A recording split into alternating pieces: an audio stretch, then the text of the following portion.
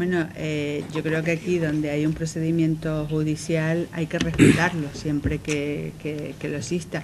Ahora, eh, si es verdad que yo creo que en estos momentos eh, todo aquello que se puede hacer en nuestro litoral o en nuestras zonas de costa que no, que no impacte para un futuro, bienvenido sea, pero lo que ya está hecho y además supone eh, muchísimas familias que dependen de, eso, de esos trabajos, pues mire, yo creo que no son momentos de destruir más empleo.